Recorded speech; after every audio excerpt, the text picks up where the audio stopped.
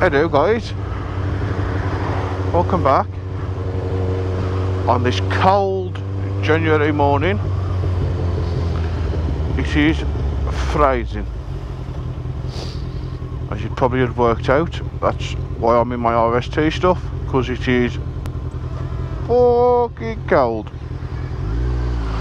Um, yeah, which is a bit fresh this morning. Um, one thing I'd like to say is thank you to the uh, Peaky Biker for letting me go on his live stream. I thoroughly enjoyed it. I really did. I thought it was absolutely. Now I've never done that before. I was quite nervous. Obviously, you know, meeting new people and you know, you just don't want to portray yourself as a knob. But thankfully, I done all right. I was quite. Uh, Alright, granted I was several beers deep at the time. So that wasn't too bad. So obviously then you start to feel a little bit better. I don't know why this toss pot wants to hang up my arse. Um, but I just be, you know a massive thank you to him for allowing me on but no it was uh, quite quite good actually. You know, like I said to him after, I said, that's just bikers. You know, we just get together and just chat absolute shite. So it was very good. We still need to try and get YouTube on, but obviously he was away by his Instagram, which is fair enough.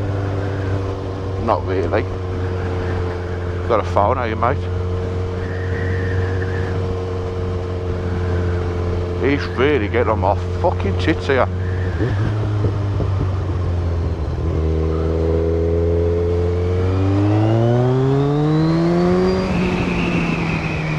I don't know why they feel the need to get right up my arse.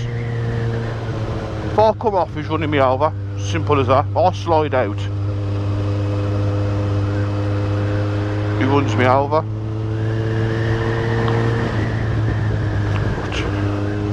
I'm not commenting on Beamer drivers because they're fucking useless. They really are. Oh, it's. I think he's sort of got the two second gap now. I think. Don't quote me. And uh, hopefully, I'm hoping to be on many more lives. Obviously, I tried to set the GoPro up naively, stupidly, whatever you want to put, call it. I didn't do my own work, did I, prior to using it so that day work you know I just thought it was going to work off a simple USB plug-in you know i.e. like a webcam would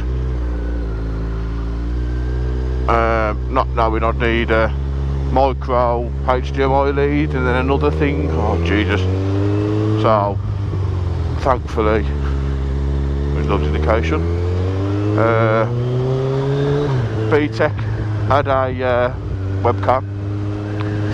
So I ended up using that. No I was uh, wasn't too bad. So now guys if you're not sub to Peaky go follow him. So he's another local motor vlogger YouTuber whatever you want to call us. Know come and join in and get involved with the conversation does it every Wednesday from what I'm, I'm gathering, obviously unless it's away, 8 till 10. But now it is a bit crisp this morning. The temperature, bug saying 1 degree.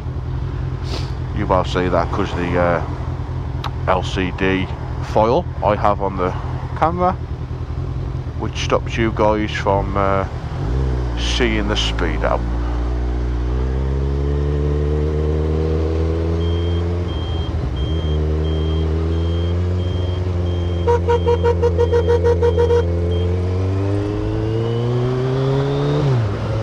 Some people should not, I repeat, should not have a driving licence. How, in the love of everything holy, do you think you enter a road where cars are facing you?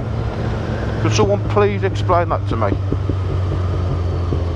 For the love of Christ, just give your licence up. Obviously some people must have got it out of a cereal box. I have no idea. Some people are beyond help. No, that's why they invented public transport. Was to keep them knobheads off the road. But now, guys, that's all it was. Just a quick one, really.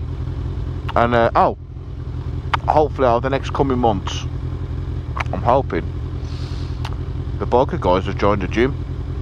So, the biker guys should, if we can be asked, should look a lot slimmer than what we do now. Which I am hoping for. Because I ain't being funny.